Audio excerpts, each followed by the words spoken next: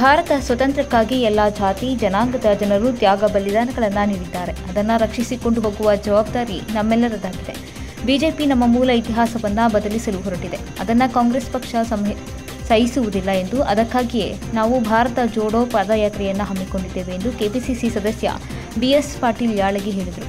Bharat judo ಅಭಿಯಾನದ ಅಂಗವಾಗಿ ದೇವರ ಹಿಪ್ಪರಗಿ ಮತಕ್ಷೇತ್ರದ ವಡವಡಗಿ ಗ್ರಾಮದಿಂದ ಹೂವಿನ ಹಿಪ್ಪರಗಿಯವರಿಗೆ ಹಮ್ಮಿಕೊಂಡ ಪಾದಯಾತ್ರೆಗೆ ಚಾಲನೆ ನೀಡಿ ಅವರು ಮಾತನಾಡಿದರು. ಈ ಐತಿಹಾಸಿಕ ಪಾದಯಾತ್ರೆಯಲ್ಲಿ ಐದು ಸಾವಿರ ಜನ ದೇಶಭಕ್ತರು ಭಾಗವಹಿಸಿ ಬೋಲೋ ಭಾರತ್ ಮಾತಾ ಕಿ ಜೈ ಘೋಷಣೆ ಮೊಳಗಿಸಿದರು. ಈ ಪಾದಯಾತ್ರೆಯಲ್ಲಿ ಕಾಂಗ್ರೆಸ್ ಮುಖಂಡರಾದ ಸುಭಾಷ್ ಛಾಯಾಗೌಡ, ಆನಂದ್ ಗೌಡ ದೊಡ್ಡಮನಿ, ಡಾಕ್ಟರ್ ಪ್ರಭುಗೌಡ ಲಿಂಗದಳ್ಳಿ ಸುಜಾತ ಕಲ್ಲಿಮನಿ, ನಂದಕುಮಾರ್ ಬೈರಿ, ಗೌರಮ್ಮ ತತ್ತಿ ಹಾಗೂ ಪಕ್ಷದ ಎಲ್ಲ ಘಟಕದ ಪದಾಧಿಕಾರಿಗಳು ಅಪಾರ ಸಂಖ್ಯೆಯಲ್ಲಿ ಗ್ರಾಮಸ್ಥರು ಭಾಗವಹಿಸಿದರು